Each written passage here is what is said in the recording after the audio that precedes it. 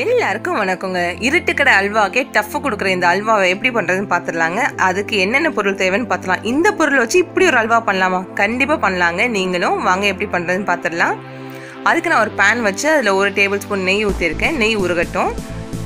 மதியம் சாப்பாடு கொஞ்சம் அதிகமாக போயிடுச்சுங்க. அதனால இந்த ஸ்வீட் நான் பண்ண ஆரம்பிச்சிட்டேன். மீந்து போன சாப்பாடு தான் பழைய சாதம் கிடையாது. மீந்து போன சாப்பாடு. தண்ணி ஊற்றுறதுக்கு முன்னாடி இருக்கிற சாப்பாடு இது.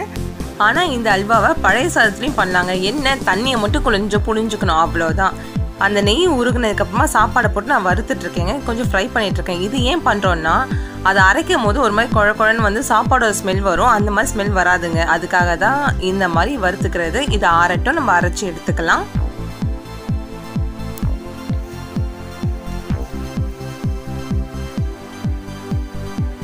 நல்லா ஆறிடுச்சுங்க அது ஒரு மிக்சி ஜாரில் மாற்றி நான் அரைச்சி எடுத்துக்கிறேன். நான் எந்த கப்பில் வந்து இந்த சாதத்தை அளந்து எடுத்தேனோ அதில் கால் கப் அளவுக்கு தண்ணி ஆட் பண்ணி அரைச்சிக்கிறேங்க. ரொம்ப தண்ணியாக இருக்கக்கூடாது. ரொம்ப ஒரு கெட்டி பதத்தில் இருக்கக்கூடாது.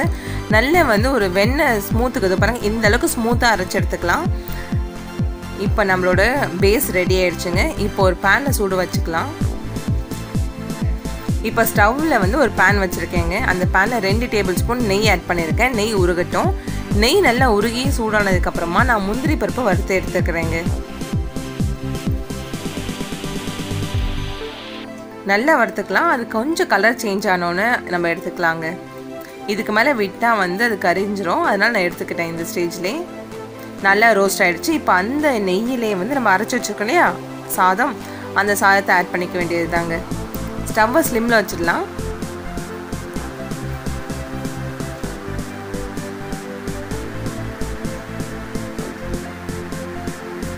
நல்லா ஆட் பண்ணி கைவிடாமல் கிளறிக்கிட்டே இருக்கணுங்க. அல்வா எப்போவுமே கைவிடாமல் கை கிளறிக்கிட்டே இருக்கணும்னே அதே மாதிரி தாங்க கிளறிக்கிட்டே இருக்கணும். அந்த கீழே ரெண்டு ஸ்பூன் நெய் ஊற்றிருந்தோம் இல்லையா? அது வந்து அப்சர்வ் வரைக்கும் இதை கலக்கிக்கலாங்க. நல்லா அப்சர்வ் ஆகிடுச்சு இப்போ நான் சர்க்கரை ஆட் பண்ணியிருக்கேன். எந்த கப்பில் நீங்கள் ரைஸ் எடுக்கிறீங்களோ அந்த கப்பு அளவுக்கு ஒரு கப் சர்க்கரை போட்டால் சரியாக இருக்கும்.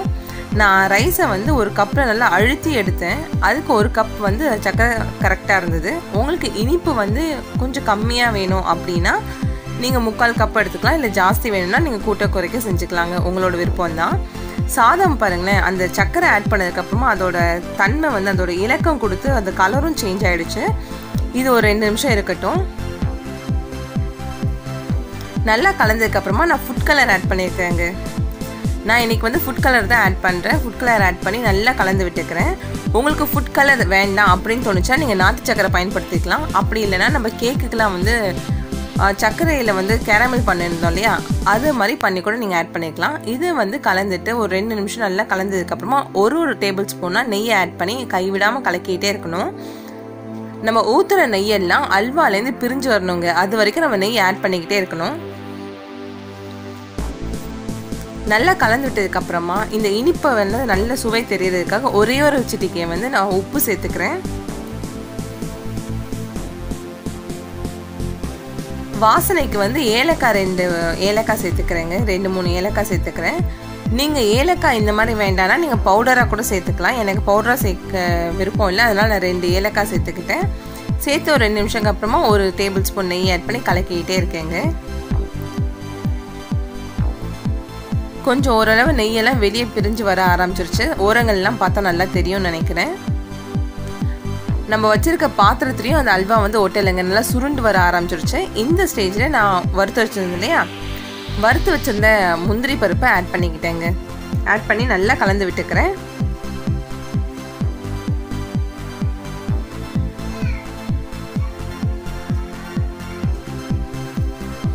நல்லா சுருண்டு வந்துருச்சு. பர்ஃபெக்ட் ஸ்டேஜுங்க. இந்த ஸ்டேஜில் நம்ம இதை ஆஃப் பண்ணிடலாம். பாருங்கள் பாத்திரத்தில் ஒட்டில் எந்த பக்கம் சாய்ச்சாலும் அல்வா அந்த சைடு போக ஆரம்பிச்சிருச்சு. உங்களுக்கு இந்த மாதிரி பதம் தெரியல அப்படின்னா இப்படி எடுத்து பாருங்கள் அல்வா மாதிரி கொட்டும். ஸோ இந்த ஸ்டேஜில் நீங்கள் ஸ்டவ் ஆஃப் பண்ணிக்கலாம். நான் இந்த ஸ்டேஜில் ஸ்டவ் ஆஃப் பண்ணிட்டேங்க. வேற ஒரு பாத்திரத்தில் மாற்றிக்கிறேன் நல்ல சுட சுட சூப்பரான அல்வா. பத்தே நிமிஷம் செம்மையாக ரெடி ஆயிடுச்சு. இதுவே நீங்கள் ரவாயிலையோ இல்லைனா கோதுமை மாவுலையோ நீங்கள் பண்ணுறதா இருந்தால் அதை ஊற வைக்கணும் அதுக்கு பால் எடுக்கணும் அதோட ப்ராசஸே ஜாஸ்திங்க. ஆனால் இந்த அல்வா அப்படி கிடையாது. பத்தே நிமிஷத்தில் பக்காவாக செஞ்சு முடிச்சிடலாம். மீண்டும் உங்களை வேறு ரெசிபியில் பார்க்குறேன். அன்டில் தென் பாய் நீங்கள் இதுதான் எங்கள் சேனலில் ஃபஸ்ட் டைம் பார்க்குறீங்கன்னா லைக் பண்ணுங்கள் ஷேர் பண்ணுங்கள் கமெண்ட் பண்ணுங்கள் சப்ஸ்கிரைப் பண்ணி மறக்காமல் பெல் பட்டன் எடுத்துடுங்க தேங்க்யூ